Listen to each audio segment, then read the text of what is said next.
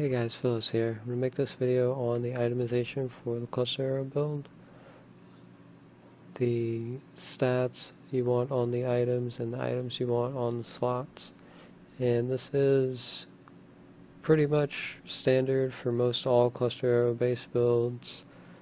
Uh, you do want to take advantage of the set bonuses and things that the Demon Hunter has to offer. You have the Natalya and the Marauder and you also want to take advantage of the fire damage amplifiers that there are on loot and you know items such as Magefist and Cindercoat are going to be key for this. So the idea for the itemization involves um, taking advantage of the Natalya 3 piece, so you get the crit chance and the discipline, as well as the Marauder 4 piece. So from my experience, this is one of the strongest combinations of sets that you can do. And you also want to utilize the Magefist as well as the Cindercoat um, and the Reaper Wraps. So there are certain items that you really, really want to have.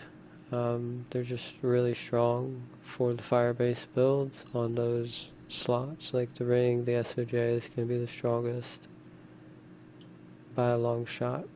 You get the fire damage, you get the elite damage, these amplifiers are just really, really strong.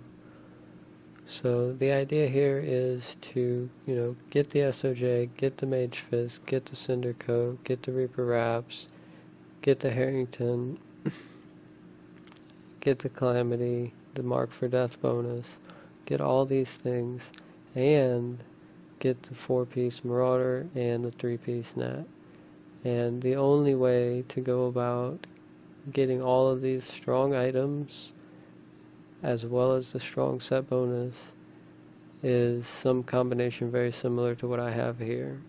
so you go with the Nat weapon and the boots combined with the Ring of the Grandeur to get that 3 set bonus.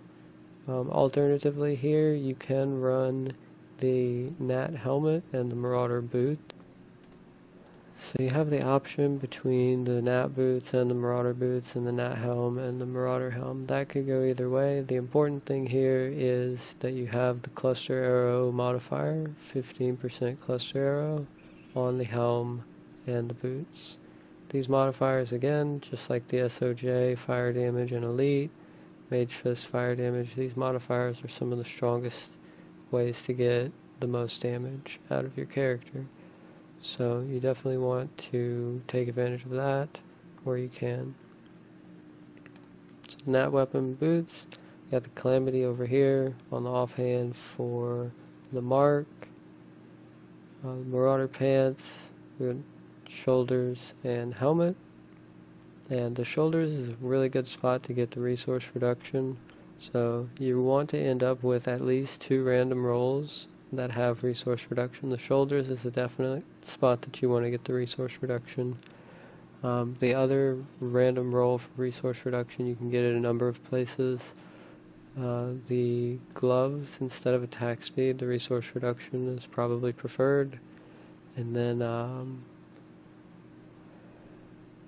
on the weapon, you can get it on the weapon as well. You can actually get 10% reduction on the weapons. So the important thing is just to have two random rolls and you don't want to sacrifice crit chance or crit damage or like fire damage on your necklace. You don't want to sacrifice any of these strong damage modifiers for the resource reduction. Um, if you have vitality dual crit mage fist, you know, then you could swap to a resource reduction weapon here.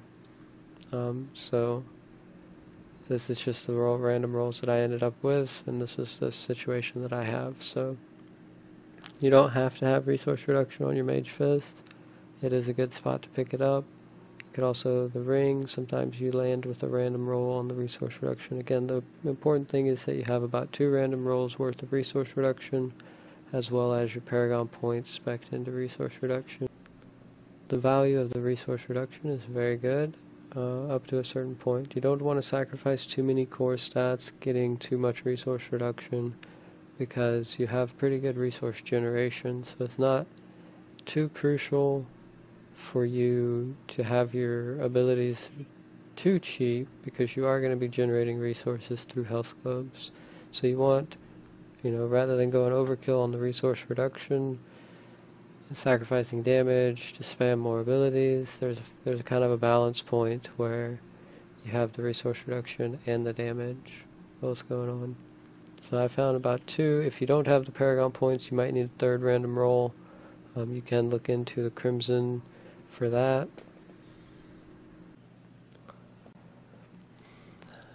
And so on the belt we have the Harrington, you know, for when you click on interact with things you get the damage bonus, that's really good. Cindercoat, obviously, re fire resource reduction, fire damage, and um, as in terms of the rolls on the items, it's pretty much the same thing across the board. You want to get dual crit fire damage. So like my necklace, fire damage, crit damage, crit chance. You know, on the mage fist, same thing, fire damage, crit chance, crit damage, SOJ, fire damage, crit chance. You know, same thing, crit chance, fire damage, dex, vitality. The vitality and all res can go either way. You want to balance depending on how much you have elsewhere. You know, if, if I had a random roll of all res on my chest instead of vitality, I might be gemming for vitality instead of all res. It just depends on how you're going to balance your character. The important thing is that you're comfortable farming the content that you're farming with the stats that you have. So if you need more toughness, you know, you can Paragon for vitality or gem for all res. Doesn't really matter as long as you're comfortable and you maintain the balance for your character, should be good. Um, it's pretty straightforward. Once you look at all of the items that are really strong for fire, you got the Cinder Coat, Magefist, Stone of Jordan, the Harringtons is really good, Reaper's Wraps for the resources.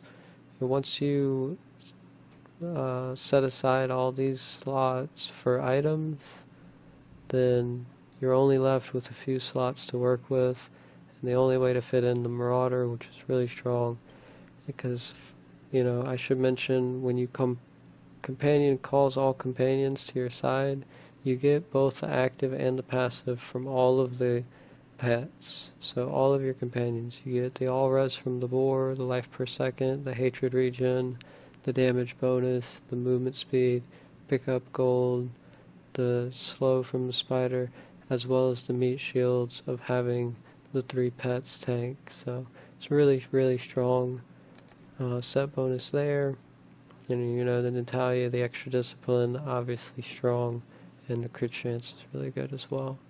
So uh, there is going to be some other combinations of items that are going to do really well, but from my experience, this is one of the strongest. This is my favorite whenever I play on Torment 5 and 6 this is the combination of items that I usually run around with. You can see here my stats.